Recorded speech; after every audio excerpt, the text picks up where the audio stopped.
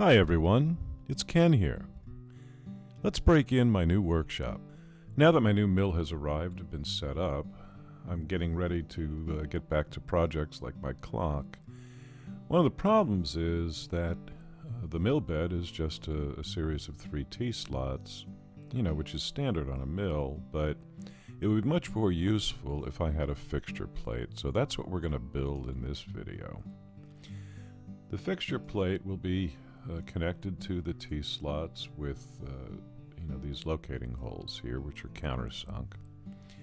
And then there are quite a few uh, features I've put on this. The there are a number of uh, one half half inch uh, 13 TPI holes throughout here, and the reason I chose those is because that's the standard uh, clamping mechanism that's used on this mill. I've also put in a bunch of uh, 1032 holes, which are the size that my other mill had, because I still have, uh, you know, clamping mechanisms that work with those. Additionally, I've added rows of uh, drilled and reamed holes for 3 8 inch dowels, and these are going to be used for aligning uh, things uh, in X and Y. Now, you know, I've mentioned in other videos that it doesn't really matter how big a mill that you have, you're oftentimes going to find yourself making things that are bigger than your mill.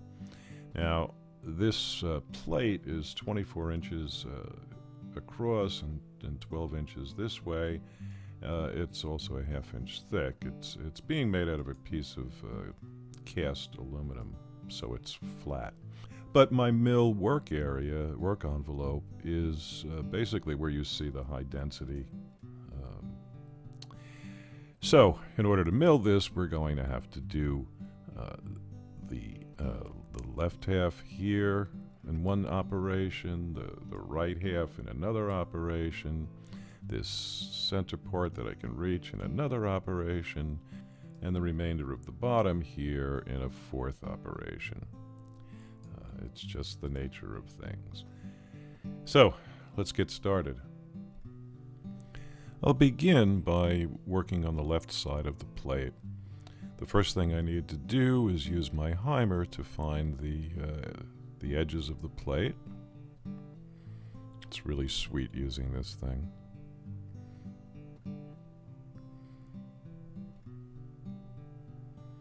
And once that's done, I use this the same tool to find the uh, the top of the plate.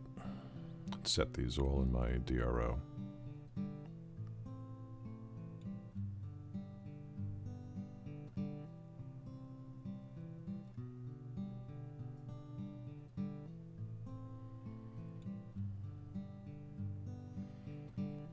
The first step is going to be to spot drill all the holes that need to be drilled on this side. Make sure my coolant is pointed at the tool. And off we go.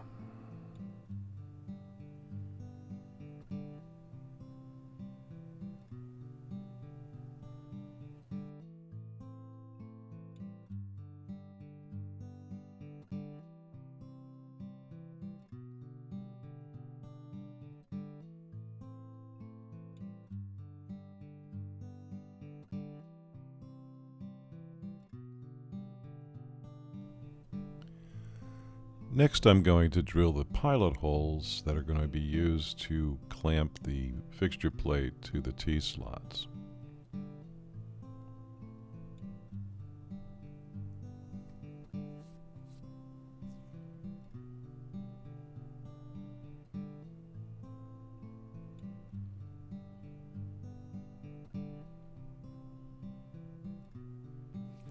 And now I switch to a 3 8 inch end mill to open up those holes to their final size.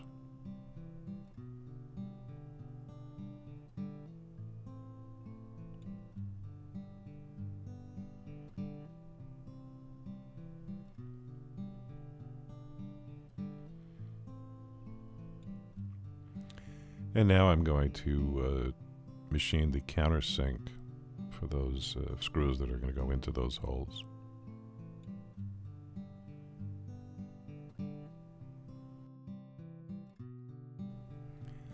Next, I'm drilling the holes for the 1 half 13 threads.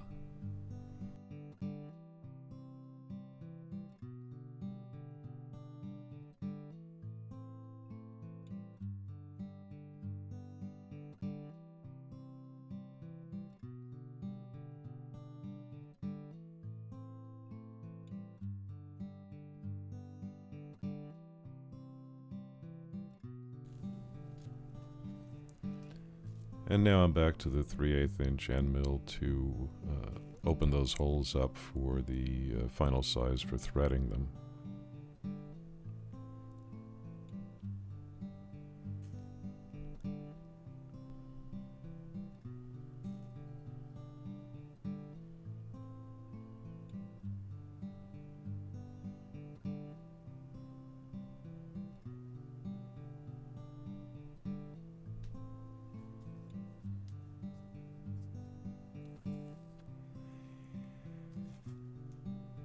What I get to do now is use a thread mill to uh, actually cut the threads. Now what this is doing, it's a single point tool.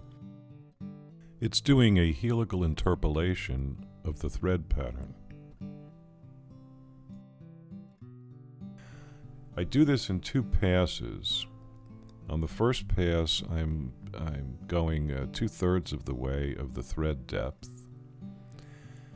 And then on the second pass, I'll go the final third of the thread depth.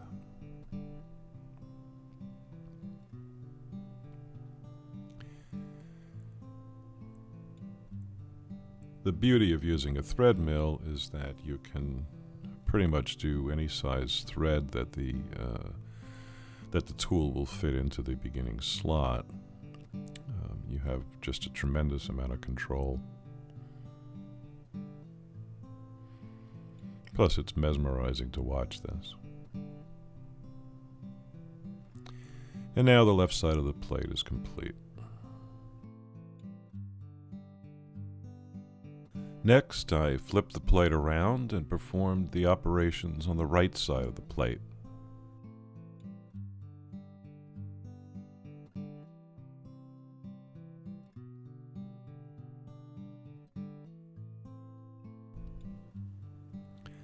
I've now placed the plate in its almost final position. It's temporarily bolted down to the T-slots, and I'm making sure that it's uh, square against the back. It's within uh, roughly four thousandths over a 14-inch span, which is which is just fine because we'll be using the dowel pins later to uh, make that perfect. I'm going to use the center of this hole as my XY0 and I'm using my Haimer here to find the center of the hole. First I find the left side of the hole,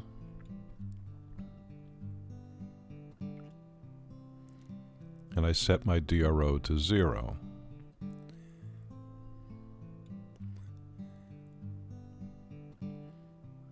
Then I move over to the right side, and when I find it, my DRO is reading the diameter of the hole in x, so if I divide that value in half, I will have the center of the hole in x.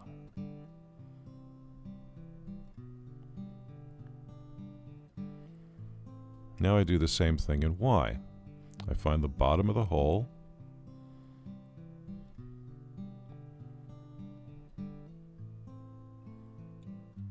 set my y DRO to 0,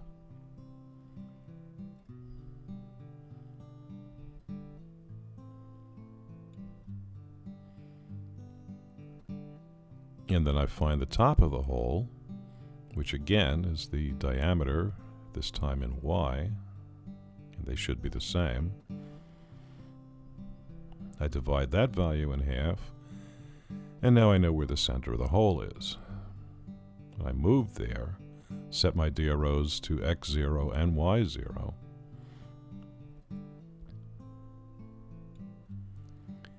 Now I find the top of the part, and set my Z DRO to zero. And now we can get started. First we're going to spot like a bazillion holes.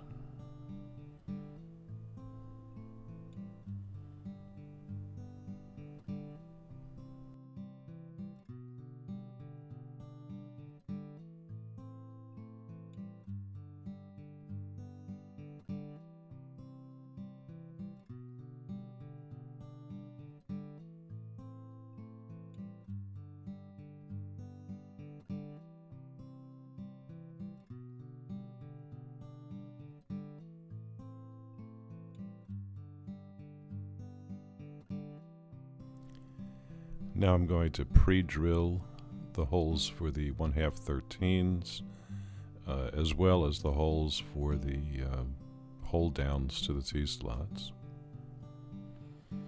Then I switch back to the end mill and I open the holes up to their final diameter prior to tapping.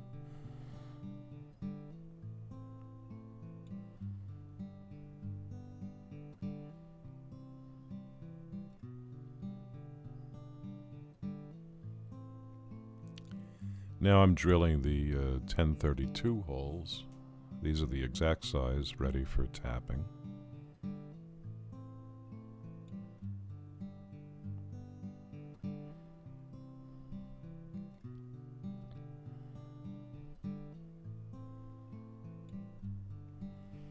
Now I'm drilling the holes for the dowel pins. This drill bit is about 8 thousandths less than the final size that those holes need to be.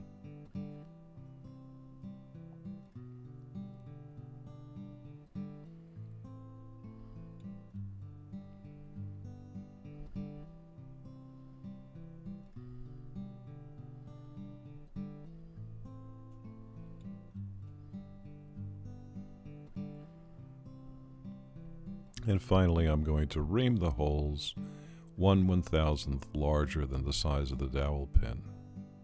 It's a 3 8 inch dowel.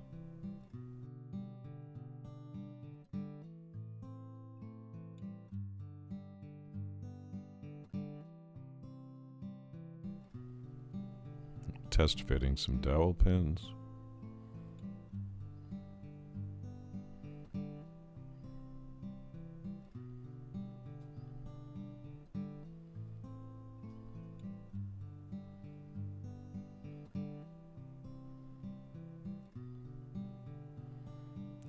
Again, I'm test fitting, and they're a nice tight fit, which is the whole idea. Now I've switched over to my tapping compression head. This thing's really cool. It lets me do rigid tapping. It controls the speed into the hole, stops the spindle, reverses it, and comes back out again. The tapping head uh, has some give to it so that the tap won't break. I tried this with the uh, half 13 uh, threaded holes. Um, the problem there is that the machine just doesn't have enough torque because uh, you need quite a bit if you've ever tapped a hole that size. Uh, and that's why I switched over to a uh, thread mill to do those, as you can see I'm doing now.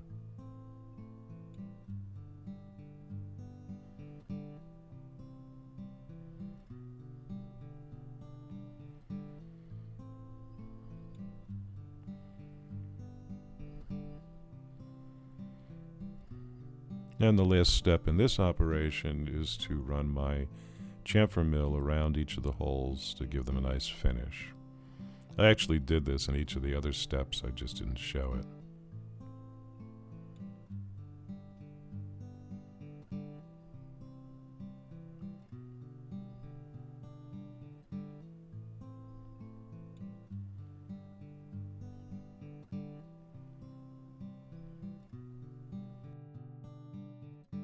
And that side of the fixture is now complete. Before I mount the fixture plate permanently, I'm going to spread some uh, WD-40 on the mill table. This is uh, just to prevent rust.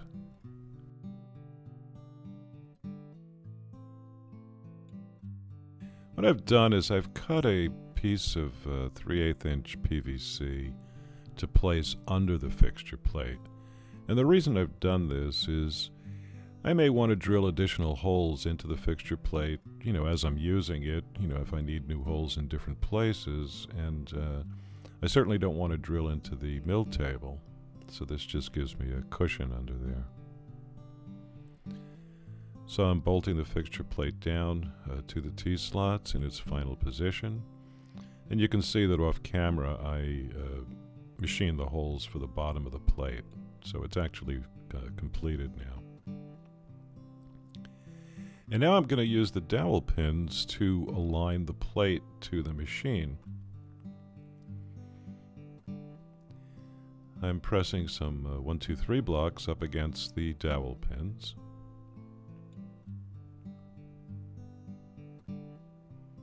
And now I'm using my uh, DTI to make sure that the plate is square to the table.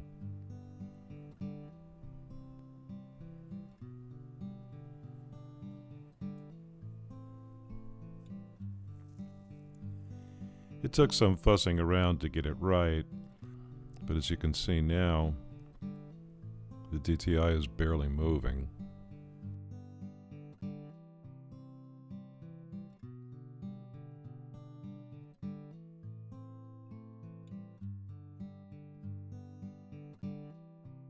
Those increments on there are a tenth of a thousandth.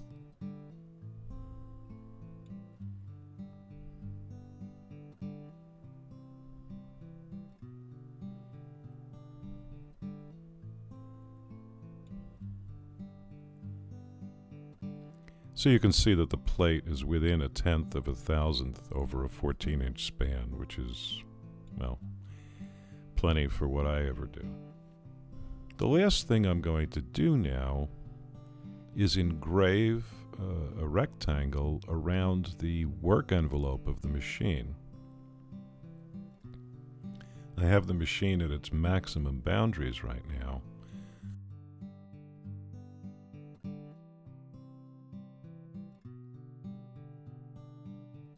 So what this will do for me is I'll always know when I'm mounting a part to the table uh, if the machine can reach it, which is a nice touch.